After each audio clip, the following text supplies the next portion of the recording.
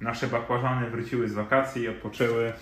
Nasz bakłażan jest fajnie zrumieniony. Teraz możemy go przewrócić na drugą stronę. Wiecie co jest istotne? Bakłażan sam sobie mm, będzie inaczej smakował, ponieważ ta ciemna część inaczej smakuje aniżeli ta jasna część.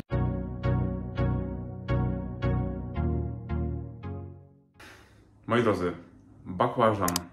Warzywo, które wielu z nas omija w markecie, ale jest naprawdę niesamowite. Możemy zrobić bardzo dobre, smaczne i pożywne śniadanie z jednego bakłażana. Więc zróbmy filipińskie śniadanie. Pierwszy etap jest to w zasadzie najważniejszy etap, ponieważ chodzi tutaj, aby zamarynować naszego bakłażana. Co robimy? Bierzemy nóż, rozcinamy go na środku nie przecinamy całkowicie, ponieważ musimy zrobić taką dziurę. Ważne jest, żeby ta końcówka cały czas trzymała nasze boki. Jak już mamy tak przeciętego bakłażana, bierzemy trochę soli, wsypujemy do środka i przecieramy mocno w środku. Odkładamy go na bok na jakieś 20 minut jak bakłażan nam puści wodę, wsadzamy do piekarnika na około 30 minut, aby ta skóra była bardzo łatwa do obrania. No dobrze, no, następna czynność jest taka, że nasze bakłażany przekładam do airfryera. Woda z nich cieknie, jak możecie zauważyć, o to chodziło. Środek stał się bardziej miękki. Jeśli macie airfryera, możecie go ustawić na program mięso 200 stopni i to będzie standard 22 minuty. Jeśli nie macie airfryera, piekarnik, myślę, że temperatura maksymalna 250 stopni na około 25 minut to powinno wystarczyć. Jak airfryer zakończy swój cykl, przełożymy wszystko do garnka, przykryjemy przykrywką i tam nasze bakłażany posiedzą sobie około 20 minut, aż do miękkości. Airfryer zakończył pracę. Zobaczmy. Tak, dokładnie o to chodziło. Teraz odkładamy nasze bakłażany do garnka. Przykrywamy, zostawiamy na 20 minut. Nasze bakłażany wróciły z wakacji, i odpoczęły. Już nawet tutaj odpoczywały. W zasadzie miałem je zjeść na śniadanie, ale wyjść na to, że zjemy je na, na obiad. E, po pół godzinie ta skórka powinna bardzo lekko odchodzić, tak jak widzicie. Bardzo łatwo jest mi ją obrać. I robimy tak, że nie ucinamy tej końcówki, ponieważ ona nam trzyma całość bakłażana. Muszę Wam jeszcze powiedzieć jedną rzecz, że warto kupować bakłażany, które są małe, ale ciężkie. Troszeczkę więcej zapłacimy z takiego bakłażana, ale możecie porównać. To jest bakłażan, który był dość ciężki, ale mały. Tu długi, podłużny, ale bardzo lekki. I więcej bakłażana w bakłażanie mamy w tym bakłażanie, aniżeli w tym. Więc ciężar ma znaczenie. Na tym etapie solimy nasze bakłażany w ten sposób. Dokładnie tak.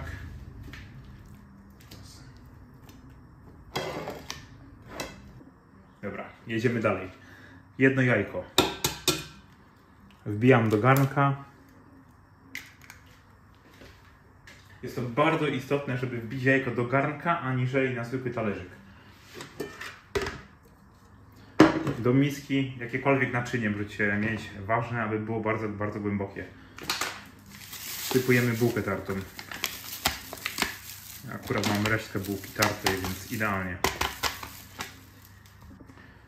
Musimy teraz rozbełtać jajko. Wkładamy naszego bakłażana. Lekko go dociskamy. On jest bardzo miękki, powiem Wam. Musimy się upewnić, że jajko obtacza naszego bakłażana z każdej strony. Już jesteśmy pewni, że bakłażan jest pokryty jajkiem, przekładamy go teraz do bułki tartej. bardzo podobnie do robienia schabowego. Można powiedzieć, że proces wygląda identycznie. Bardzo istotna rzecz, a mianowicie posiadanie tej dużej miski jakiegokolwiek naczynia, ponieważ teraz na tym etapie nie musimy przewracać bakłażana, tylko będziemy potrząsać naszą miską, przez się upewnimy, że bakłażan jest z każdej strony pokryty. Druga strona. No dobrze, tak wygląda nasz bakłażan. Teraz rozgrzewamy olej i smażymy go na oleju. Patelnia się dymi, więc możemy wlać oliwę z oliwek. Dość sporo. Oraz do smaku damy minimalnie masło. Niedużo.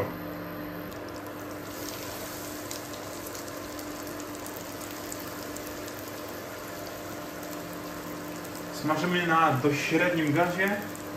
Za 3 minuty go obrócimy. Będziemy lekko po- poruszać patelnią, ponieważ nie chcemy, aby nam się pod spodem e, zbyt mocno zjarał. Jest to bardzo istotne. Jeden bardzo przydatny trik, a mianowicie końcówka, której nie ucięliśmy. Trzymamy za nią i obracamy naszego bakłażana na patelni w każdą stronę. Dzięki temu wiemy, że od dołu nam się nic nie przypali. Nasz bakłażan jest fajnie zrumieniony, teraz możemy go przewrócić na drugą stronę.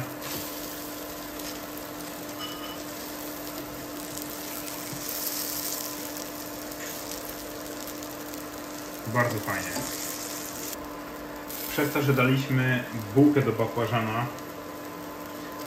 nasz tłuszcz, nie inaczej, przez to, że bakłażana panierowaliśmy w bułce, jest sporo tłuszczu e, w samym bakłażanie, więc co teraz robimy? Naciśniemy go lekko do dołu. Dzięki temu nasz bakłażan będzie bardzo, bardzo chrupiący i objętościowo będzie jego więcej. Tak wygląda całość. Bakłażana podajemy również sosem sojowym. Mam tutaj przyprawy do suszonych pomidorów, które możemy posypać. Muszę Wam powiedzieć, że zawsze to robię w ten sposób, że konfiturę czosnkową najpierw robię, czyli duszę czosnek w piekarniku z oliwą z oliwek. No i na tym oleju smażę em, bakłażan, jest naprawdę przepyszny. No ale tym razem będzie bez konfitury czosnkowej. No dobrze, próbujmy naszego bakłażana. Od dołu jest bardzo chrupiący, bardzo fajnie.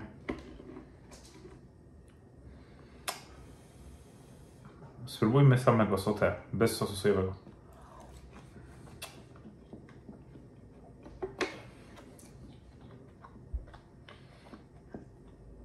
Jest smaczny, ale brakuje tego akcentu czosnku. Jest to naprawdę no, bardzo tutaj potrzebne, tak? Na tej oliwie czosnkowej wyszłoby to bajecznie. Jest to nadal smaczne, ale uważam, że Filipińczycy em, no nie chcą jakby jeść takiego jałowego bakłażana bez niczego, dlatego dodają trochę mm, sosu sojowego. W zasadzie polewają bakłażan sosem sojowym. Ja dodam troszeczkę tutaj z tej strony, zobaczymy jak to się komponuje. Sos sojowy i coś smażonego, no to musi być zawsze dobre. Wątpię, aby to było niesmaczne. Mhm. Mhm.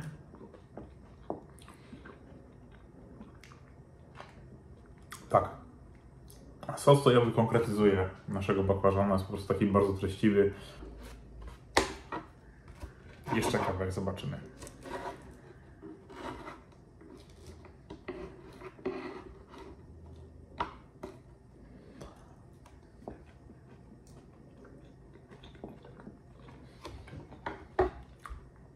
Wiecie, co jest istotne?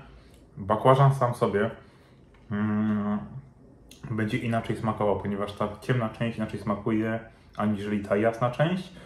I ten smak nie zawsze będzie usa- usadzony jakby e, w każdej części bakłażana. Także spróbujcie sobie kawałek e, środka bakłażana, kawałek boku, ponieważ to są całkowicie e, różne smaki. brakuje tej oliwy czosnkowej mm, bardzo. I myślę, że taka kombinacja bakłażana, sosu sojowego oraz czosnku, no to jest takie idealne kombo. Ale jest nadal smaczny bakłażan, jeśli nigdy nie jedliście e, w ten sposób bakłażanu, także polecam Wam spróbować. Może to trafi w Wasze gusta. Choć o gusta się nie dyskutuje, ale no wiecie co mi chodzi, tak? Także trzymajcie się i miłego weekendu Wam życzę, papa. Pa.